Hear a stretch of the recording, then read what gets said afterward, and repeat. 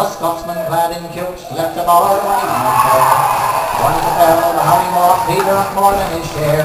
He stumbled on until he could no longer keep his feet. Then he staggered off and put a grass to sleep beside the street. Ring ding ding ding lady, oh ring ding He stumbled off and put a grass to sleep beside the street. But later on, two young and lovely girls just happened by. One says to the other, with a twinkle in her eye, See yon sleeping Scotsman, so strong and handsome built.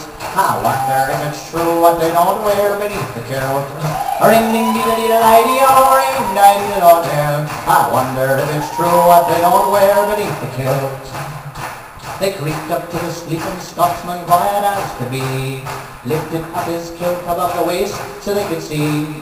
There behold for them to view beneath his Scottish skirt was nothing but what God had graced him worth upon his birth.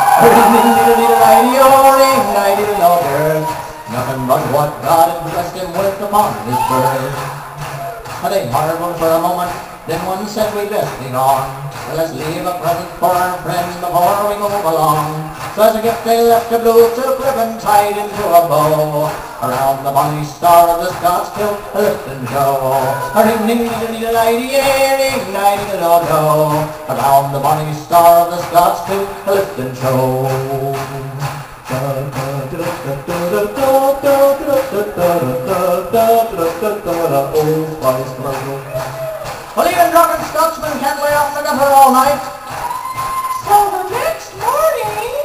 Scotsman woke to nature's call and stumbled toward the trees.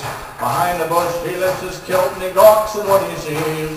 Then in a startled voice he says to what's before his eyes. My friend, I don't know where you've been, but I'll see you on first try. First try, first.